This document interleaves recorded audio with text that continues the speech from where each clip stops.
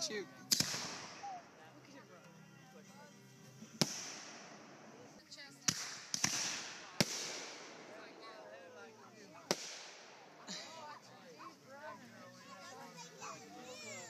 It's okay.